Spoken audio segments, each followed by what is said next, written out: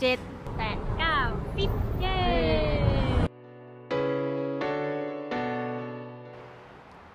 สวัสดีค่ะ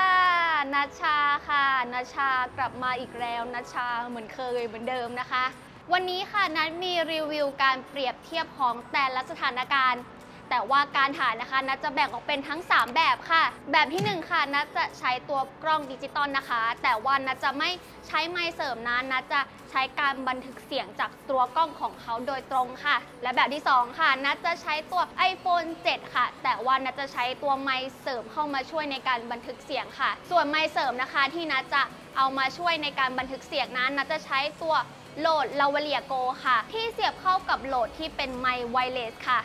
และอย่างสุดท้ายค่ะ อย่างที่ 3 นัดจะใช้ตัว Action Cam ของ Osmo Action ในการถ่ายนั่นเองค่ะ แล้ววันนี้ค่ะ นัดไม่ได้มาคนเดียว นัดมีหญิงสาวปริศนาหนึ่งคนจากเทพแกดเจ็ตมาช่วยนัดถ่ายด้วยค่ะ ก็คือพี่ชาร์ตนั่นเองค่ะ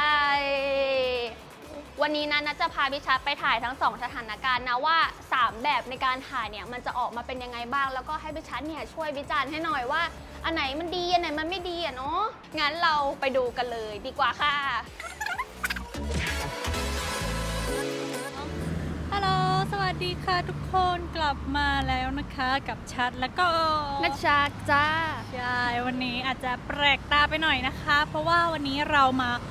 ล็อกให้เพื่อนๆดูกัน เพราะว่าตอนนี้เราถ่ายด้วย iPhone 7 Plus กับกับติดตัวไมค์ไม่หนิบปกลาวาเลียค่ะลาวาเลียสโกใช่ไหมโหลดลาวาเลียโกใช่แล้วก็เรามาต่อเข้ากับไมค์เรามาเลียอยู่นะคะ เราก็จะมาลองทดสอบการถ่ายวิดีโอด้วยโทรศัพท์มือถือเนาะ ใช่ ก็ลองมาเดินลองให้เพื่อนๆดูกันว่า จะเป็นยังไงบ้างนะคะ ซึ่งตอนนี้รถก็ค่อนข้างเยอะแล้วก็มอไซค์เสียงเห็นไหมคะได้ยินไหมคะ ได้ยินไหมคะโอ้โหเสียงดังสนั่น เราจะมาดูว่าประสิทธิภาพของตัวไมค์หนิบปกอะไรอย่างนี้จะสามารถทำงานได้ดีหรือเปล่านะจ๊ะก่อนเราหาที่ออกก่อนเฮ้ตอนนี้เฮ้เฮ้เฮ้เฮ้กลับมาแล้วค่ะ เราสองคนกลับมาแล้วนะคะ ตอนนี้ถ่ายอยู่กับอ่า Canon G7X ค่ะ แต่ว่าไม่มีไมค์เสริมมาช่วย เราใช้ไมค์จากตัวกล้องโดยตรงเลยกับเลยเสียงข้างนอกเป็นไงบ้าง อันนี้ก็เป็นไมค์จากข้างในตัวกล้องเลยเนาะไม่ได้ต่อไมค์เสริมแล้วก็ เข้าฝังตรงนั้นแล้วก็ใช้เป็นไม้เซลฟี่อยู่นะคะ ไม่ได้แบบใส่เป็น gimbal หรืออะไรนะ ก็จะจะลองเดินก็แบบสีสวยเนาะสีสวย ผิวนวลผิดปกติไปเลยอะไม่ใช่ตัวจริงเลยหน้าหน้าเหมือนใส่แบบอะไรอะเขาเรียกอะไรนะฟิฟิลเตอร์เออฟิลเตอร์ฟิลเตอร์หรือว่าฟีเจอร์ หน้าเรียวอยู่ดีก็หน้าเรียวขึ้นมาผิดปกติเลยนะอยู่ดีก็หน้าปากก็ขาวแดงขึ้นมาผิดปกติเลยนะคะ Canon G7X นะคะ ก็กล้องเหมาะสำหรับสาวๆเนาะหน้าจริงนๆกล้องวลดิจิเชีตยอลก็คล้ายๆกันก็แบบเหมาะกับให้แบบถ่ายสวยอะเนาะเออเน้นคล่องตัวสวยสวยเหมาะถ่ายภาพดีรูปอะไรอย่างเงี้ยแต่ก็ดูอ่าแต่ก็มาดูกันอีกทีว่าเสียงเขามันจะ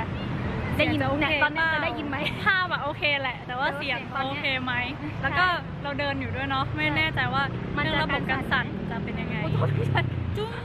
เย้กลับมาแล้วนะคะ ตอนนี้เราอยู่กับ Action Cam นะคะ ของ Osmo Action นั่นเอเย้งอันนี้เราไม่ได้ใช้ไมค์เสิร์ฟเราใช้ไมค์บิวอินของตัวเขาเลยเนาะใช่เราเดินไปเรื่อยๆแล้วกัน ภาพก็จะกว้างๆหน่อย ก็จะค่อนข้างต่างจา กกล้องเนื้อสองตัวนี้นะคะ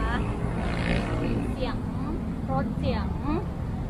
รถมอเตอร์ไซค์เต็มไปหมดเลยทุกคนได้ยินไหมเอ่ยหรือว่าได้ยินเสียงเราชัดเจนหรือว่าไม่ได้ยินอะไรเลย เดี๋ยวนาจะให้เพื่อนๆเปรียบเทียบเสียงนะคะหนึ่ง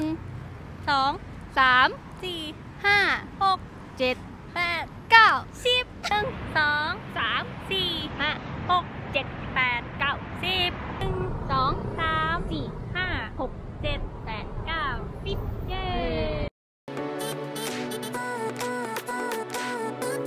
นนี้นะคะกำลังทดลองภาพและเสียงที่เหมือนกับในสตูดิโอเนาะพี่ชัดแบบไม่ค่อยมีเสียงรบกวนเท่าไหร่โดยใช้ตัว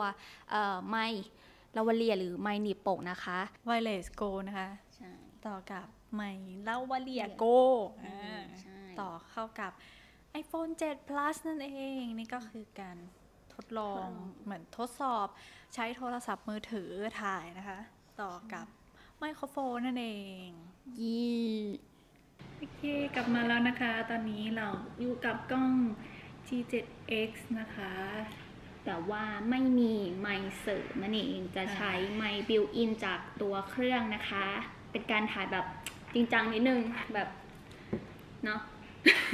เป็นการถ่ายแบบจริงจังนิดนึงนะ อันนี้จะเน้นดูซิว่าเสียงที่ออกมาเนี่ย มันจะเป็นยังไงนี่กลับมารอบที่ เย่กลับมารอบที่รอบที่ห้าหกเจ็ดแปดสักรอบนี่แหละค่ะใช่โอเค ตอนนี้เราอยู่กับ Action Cam นะคะ แล้วก็เสียงที่ได้ยินก็เป็นเสียงจากตัวกล้องเลยของ Osmo Action นี่ค่ะ เย่